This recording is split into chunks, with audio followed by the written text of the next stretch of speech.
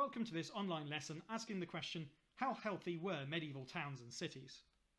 Our aims are to know some strengths and weaknesses of public health in medieval towns and cities, to explain what measures were taken to improve health, and to evaluate the effectiveness of these measures.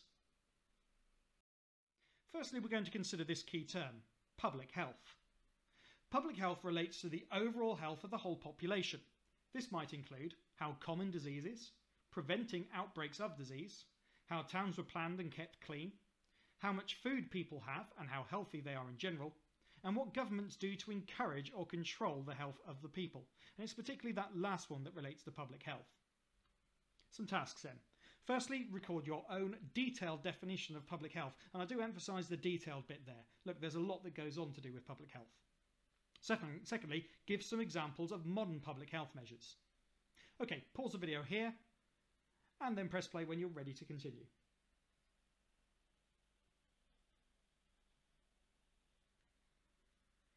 So hopefully we've got a detailed definition for public health, but just review those bullet points and make sure that you have. Modern public health is all around us. In Britain, the most visible example of this is the NHS or National Health Service. This is government run and funded by taxpayers' contributions, or rather, national insurance contributions. But it wasn't always like that. Previous to that, people had to pay for their healthcare. Indeed, during the 2020 um, and 2021 pandemic, public health was again all around us, providing free vaccines, healthcare for the sick, and even things like lockdown and telling people to stay home are examples of public health in action in the modern era. But what did public health look like in the Middle Ages? Have a look at this artist's impression of a medieval town.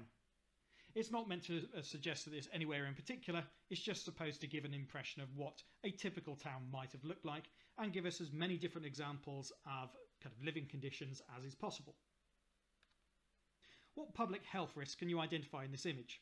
List as many as you can, and if you're not watching this video full screen, this is a real encouragement to do so, otherwise you won't be able to see most of the detail.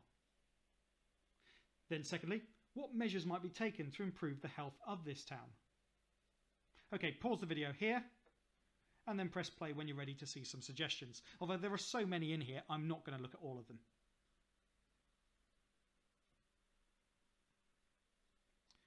Here are some basic examples. Firstly, animals were common in towns much like they are not common there today. The fact of the matter was that animals had to be brought live into towns because there was no refrigeration. You might be able to see just to the right of this circle the butchers as well, where pigs are being slaughtered in the streets.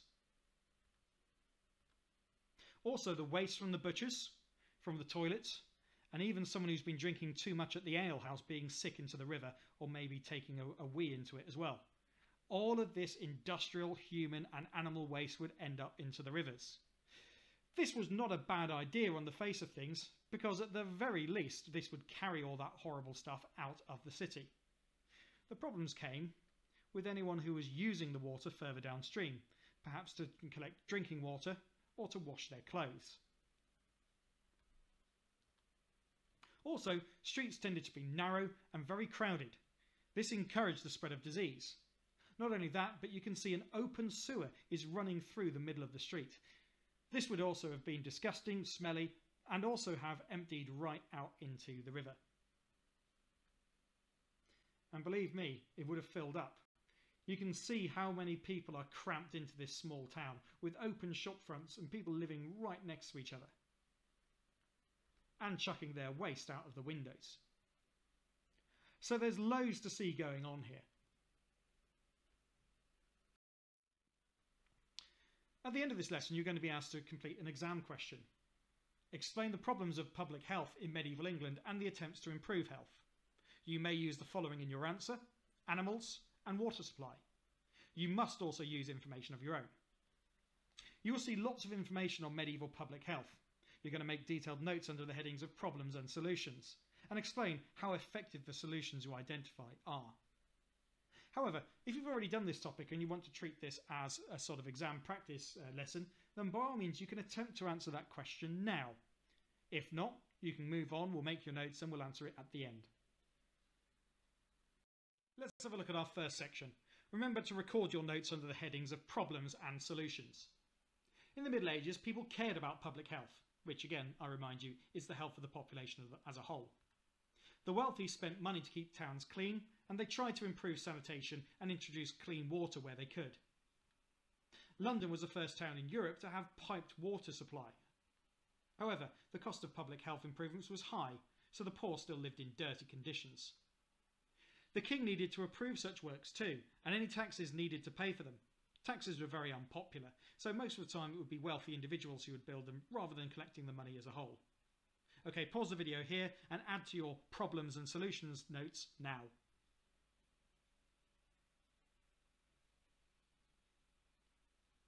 What else? Some specific improvements. Butchers were ordered to use a separate area for butchering, butchering animals, and butchers could be put into the stocks or fined for selling gone off meat. By the 1380s, there were at least 13 common privies, or public loos, in London. These did empty straight into the River Thames, however. Fines were given for, given for littering, or you could be put in the pillory.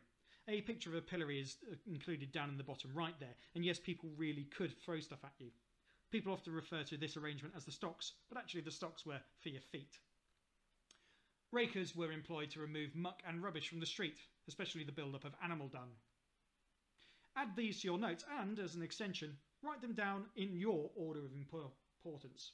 Okay, pause the video here while you add to your problems and solutions.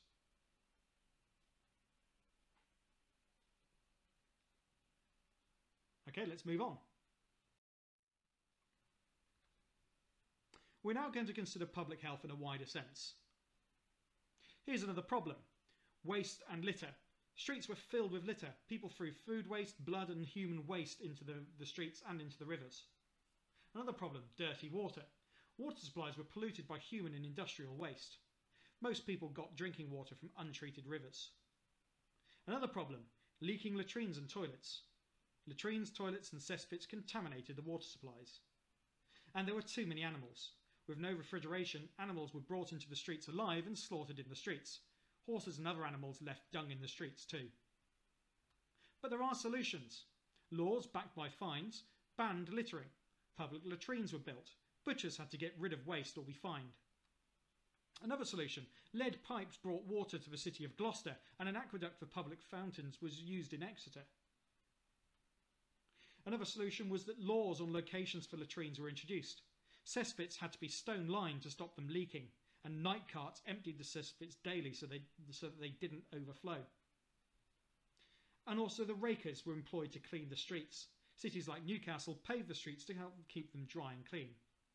I can imagine that being a raker or a night cart operator would have been two of the stinkiest and most horrible medieval jobs imaginable. Here are some tasks then. Add to your notes, and then explain which solution was probably most effective and why, why in your view. Pause the video while you complete your notes on problems and solutions.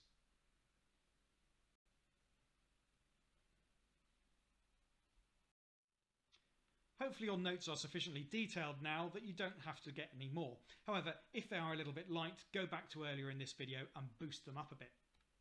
We're going to attempt the exam style question now. Explain the problems of public health in medieval England and the attempts to improve health. You may use the following in your answer. Animals, and water supply. You must also use information of your own. In the Edexcel exam, a 12 mark answer like this will take you between 18 and 20 minutes to write. There are six marks for your uh, knowledge and six marks for your uh, explanation. Although you'll only pick up these marks for explanation if they are in relation to the question. So read it again. Explain the problems of public health in medieval England and the attempts to improve them. So, you've been given the hints animals and water supply, but you're not going to pick up all your marks for knowledge if that's all you include, because you must include some information of your own. I'm now going to give you some advice on how to answer it. You don't have to follow this, but if you do struggle to structure your answers, this is a useful way of doing it. I describe this as being three peel paragraphs point, example, explain, and link. Firstly, make your point. One problem or one attempt to improve public health was an example of this was, and that's where you need to be really specific and detailed with your knowledge, and the effect of this was or this involved. You then link your explanation back to the question. You've got to link it to the problems of public health or an attempt to improve health. So this was a problem or this helped improve public health because. Once you've done three examples there, presumably you will have covered animals, water supply, and at least one example from your own knowledge. You don't have to use animals and water supply if you don't understand those topics. You can just choose a couple of others if you wish. Then, once you've done your peel paragraphs, conclude with a short paragraph. What was the most important problem or attempt to improve public health? Or what was the overall trend of trying to improve public health or the overall trend of problems? Okay, it'll take you between 18 and 20 minutes to answer that question unless you're entitled to extra time. So have a go at it now. Pause the video while you do it.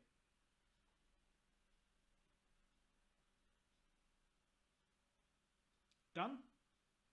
Let's have a look at an example. I've colour coded my point example explain and link in these colours. Unless you want to look like a real amateur, you don't actually want to put the headings point example explain and link in your answer. Otherwise, it really won't look like you know what you're doing.